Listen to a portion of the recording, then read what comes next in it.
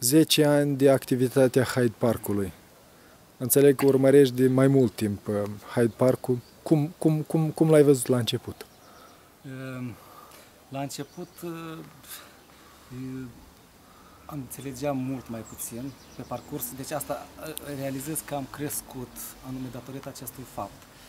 Ehm, În ce sens ai crescut? Am crescut la nivelul ăsta al conștientizării anumitor lucruri cărora în anterior nu le dădeam absolut nicio atenție, dar care le consider importante.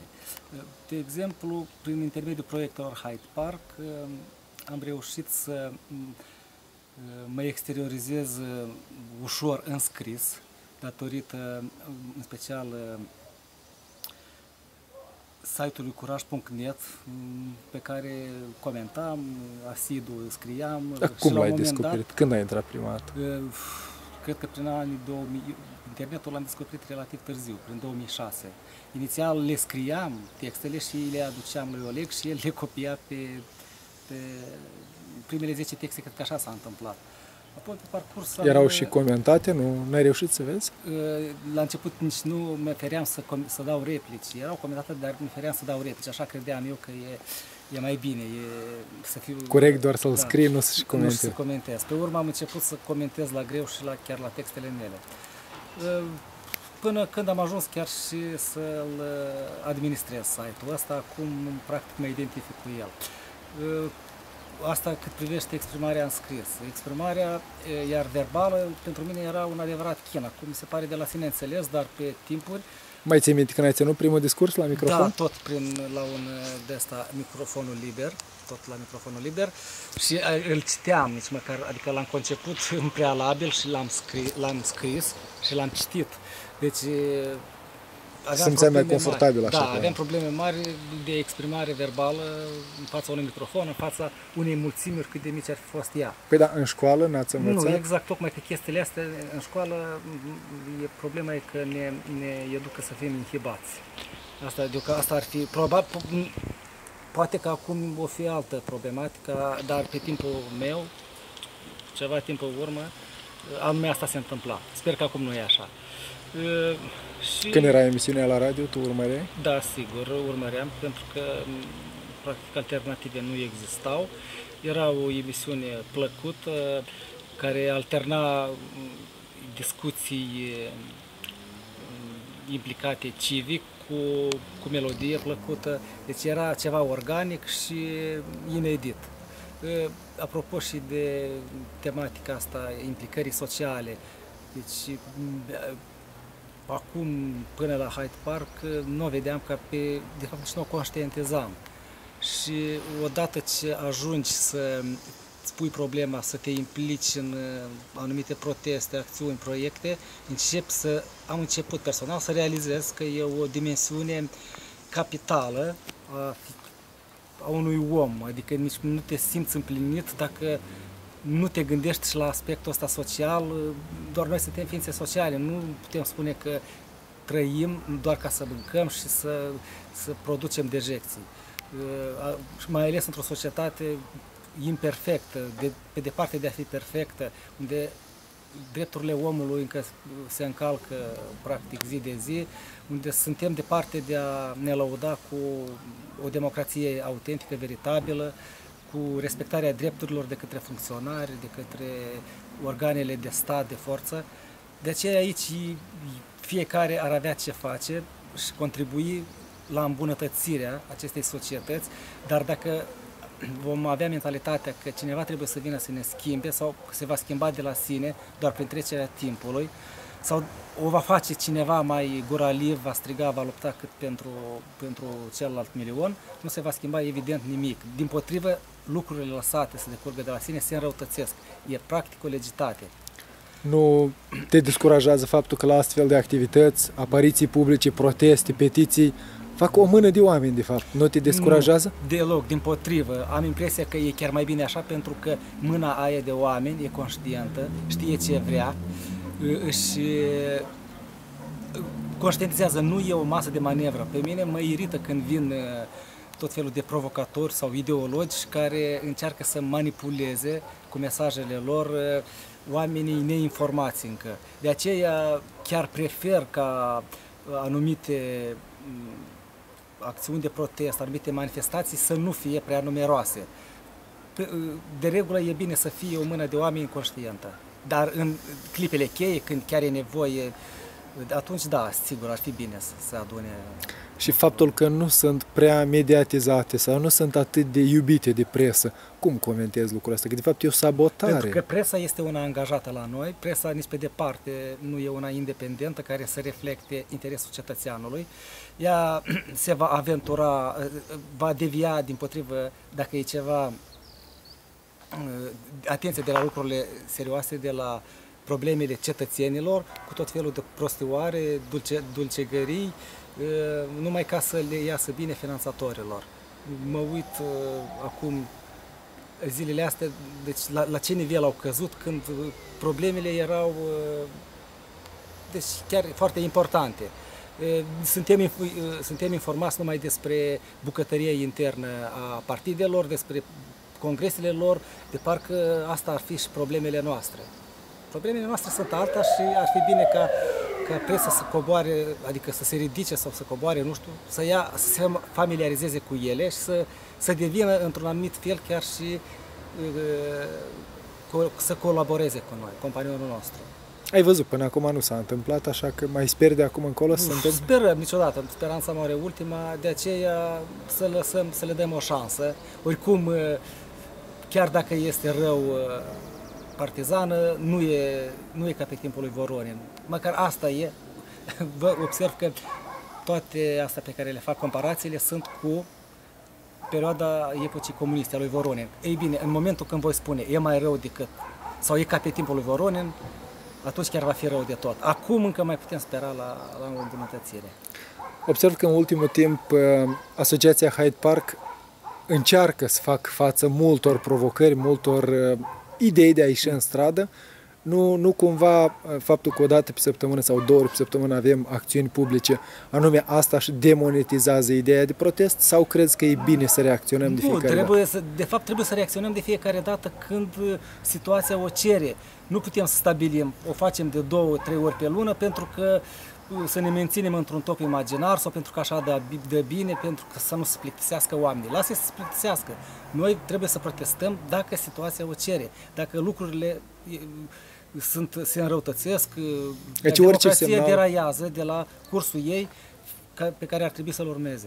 Și dacă vine un semnal din afară și e evidentă încălcarea drepturilor, probabil asta justifică implicarea Hyde Parkului. Da, sigur. Noi nu, nu să, noi ieșim niciodată în stradă doar ca să, să facem gălăgie inutilă. Gălăgia aia pe care o facem e justificată, lumea poate să se poate să verifice asta citind coduri de legi, vizionând și contrapunându-le cu imaginile pe care le oferim noi pe Curaj TV. Și observ Cum... ulterior reacțiile lumea, vede că s-a protestat sau s-a făcut un subiect și toată lumea zice că, a, dar noi nici nu știam că asta se exact. poate Deci este o, probabil și o bună școală, pentru că are loc o conștientizare a unei probleme care știm că e o, o problemă foarte spinoasă, însă și conștientizarea nu e deloc simplă și ușoară ca să treacă la următorul pas, ă, trebuie mai întâi să se conștientizeze. Și apoi, unii din cei care conștientizează fac, se implică și cu trup și suflet în, ă, în acțiuni. La prima acțiune de protest, mai ții minte când ai fost?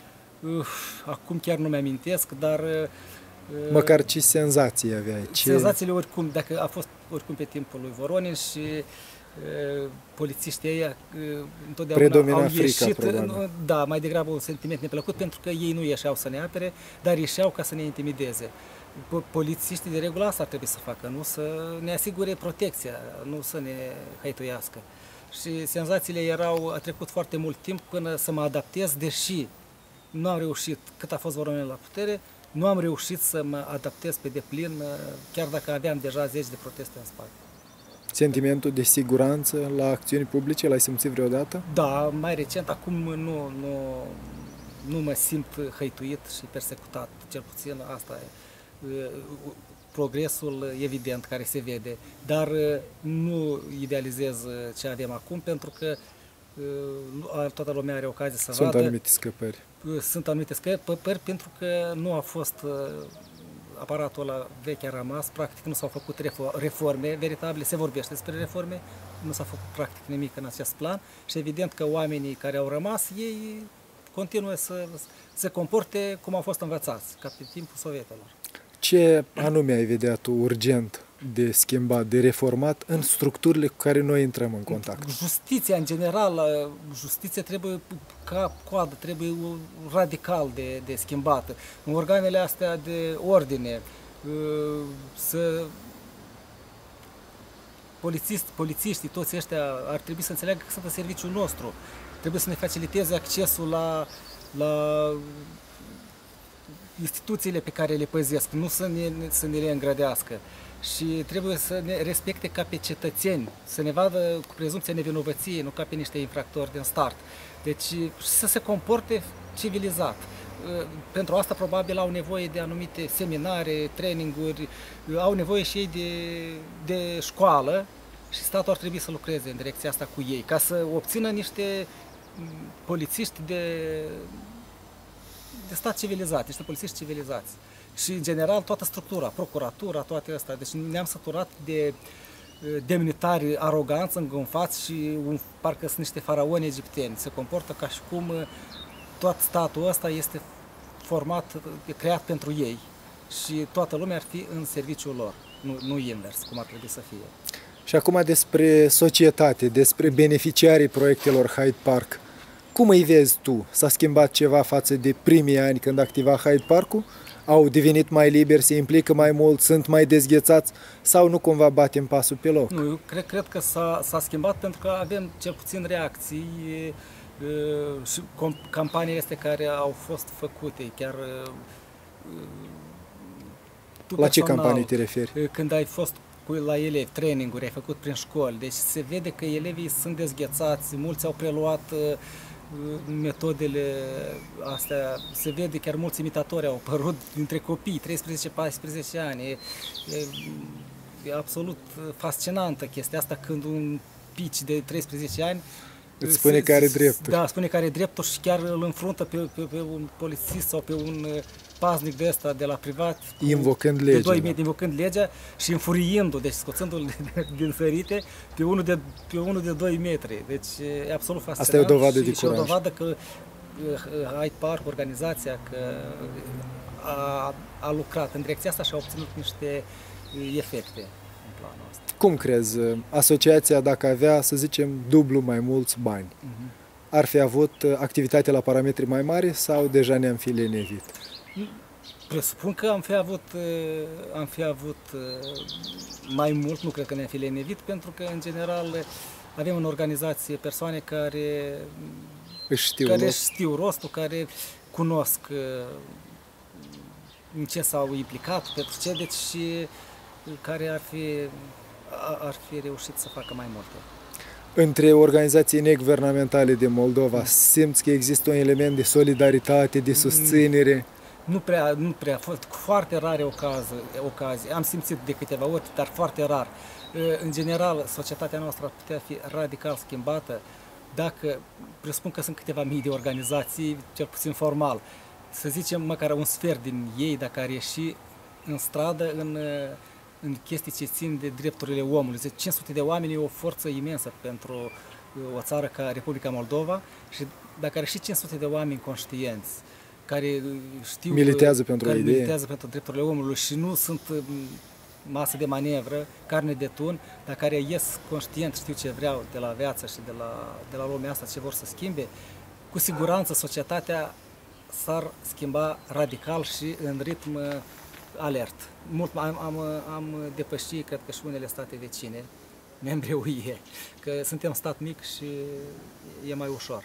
Dar, din păcate, nu se remarcă solidaritatea asta, oamenii stau comozi în oficiile lor și cred că mm, pe ei nu-i privește dacă cineva nu, cuiva îi se încalcă drepturile, dar nu se știe. A doua zi s-ar putea să, să, să ajungă rândul, așa cum se întâmplă în Rusia, cum de fapt au remarcat. Mai întâi pe unii, apoi acum e rândul intelectualilor încep să-i, să închidă cu diverse, să li se înteteze dosare penale cu Te motive inventate, dosare fabricate. Deci așa începe dictatura. Și de aceea trebuie să, ca organizațiile să, pentru drepturile omului, cel puțin, să, să conștientizeze lucrul ăsta și să fie mai solidare decât sunt acum. În uh, Hyde Park, cum te-ai decis? Cum ai acceptat să te implici în funcții de răspundere? Mult timp am evitat uh, lucrul ăsta, uh, și, dar oricum la noi cum este pe rotație, fiecare, practic fiecare a fost Aproape jumătate practic, de membri da, au fost, au în fost staff. în staff și chiar și președință în jumătate, cred că a fost. De aia am decis să, să, să fac și eu cumva o, chiar ca o datorie să, să trec și eu prin, prin... Cum te simți la un an de activitate? La un an de activitate vreau să spun că adică sunt același membru la noi. Până la urmă nu există ierarhia asta pe verticală, că unul dictează, unul da. dictează de, numai de asta pentru că e, ar avea o funcție. Da, Oricum, ai avut anumite, posibilitatea să te manifesti. Exact. Și ca membru și ca asta, ca... deci e, e perfect. Nu, nu, nu e problemă. Din uh, activitățile, din proiectele, din inițiativele care se discută și se fac în Hyde Park, uh, sunt anumite lucruri cu care nu ești de acord și crezi că ar trebui să fie realizate altfel? Mm. Problema, adică nu e problemă, e foarte bine că în organizație sunt o serie de proiecte care au ajuns să funcționeze atât de bine încât practic organizația pe ele se ține și ele, am, câteodată am impresia că funcționează automat, atât, s-au automatizat și nu văd ce ar putea stingeri activitatea organizației. În rest, pot să apară anumite, să zicem, fricțiuni între membri la un anumit la un moment dat. Dar asta nici de cum nu afectează activitatea de bază a organizației. Personal nu am simțit nimic care ar trebui deci disfuncționalitățile s-au discutat și, și s-au soluționat. Da, e și firesc ca să apară și disfuncționalități într-o organizație funcțională. Uh, asta ar fi o organizație moarte, dacă, moartă dacă nu ar exista și disfuncționalități. Dacă ar fi numai o opinie. Da, exact. Și ar fi totul armonios. Dar în linii generale uh, sunt perfect satisfăcut de cum decurg lucrurile. Putem vorbi că în organizație acum ar fi un moment de criză, că oamenii, nu știu, vin, pleacă sau pleacă nu, prea mult. pentru noi nici nu ne-am propus să, să aducem în organizație oameni care să se pensioneze aici. O organizație vie de asemenea, e, într-o organizație are dreptul să intre, să, să verifice dacă e pe, e pe placul lui, fiecare dintre cei admiși de noi, acceptați.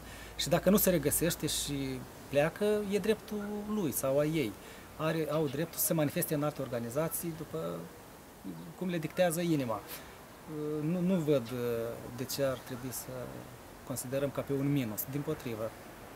Asta, oamenii se schimbă, se schimbă de multe ori și idealurile, nu putem să le reproșăm nimic. Mersi. Vreau, uh, în cazul în care ai putea să ne zici cum vezi activitatea peste 5 ani a Hyde Parkului sau peste 10 ani. Sper să mai apară câteva proiecte de anvergură, de genul care sunt acum, probabil pe alte fișier, pe alte, în alte sfere, știu eu, pe alte domenii, dar la fel de impozante cum sunt astea de acum, Curaj TV, microfonul liber, uite și amatorul,